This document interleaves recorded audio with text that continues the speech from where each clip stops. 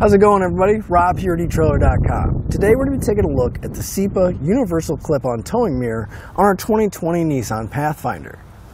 Now a towing mirror is going to give you that extra field of view so whenever you're towing a trailer you can make sure that you're able to see next to you, behind you, and safely get down the road. Because typically when we're towing a trailer, you can see the back of the trailer, but if you need to change lanes, it's kind of hard to see far, that far back and that far to the side. So we end up sticking our head out the window, which really isn't a safe practice. So here you can see me, I'm at the back of our trailer we have hooked up to our Pathfinder. But again, the problem isn't when we're driving completely straight, it may be that we need to change lanes. So when I step away, you're going to lose track of me in the factory mirror.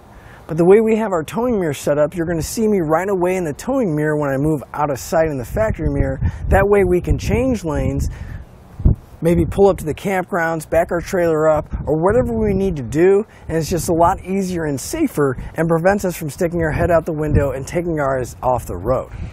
And it does have a ball and socket on the back, so it's fully adjustable. We can turn it full 360 degrees.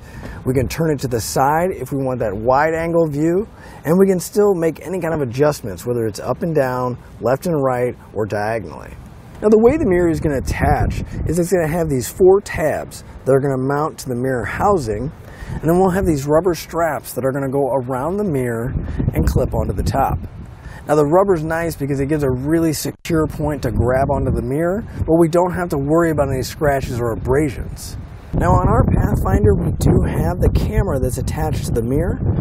Now the way we have our strap on there is not interfering with it, but you do want to be mindful of that if you use your camera a lot. But you can see we still have enough open space on the turn signal that people around us are still going to see that turn signal on, so we can still utilize that function. I know some customers may be wondering if they can adjust their factory mirror because the towing mirror is going to be attached to the housing. Well, you can see here, I can still make all those adjustments on the mirror so I can see my trailer perfectly and get that viewing angle that I want. It's not going to impede on any of the operation of the factory mirror. We're still even able to fold our factory mirror in without removing the tow mirror.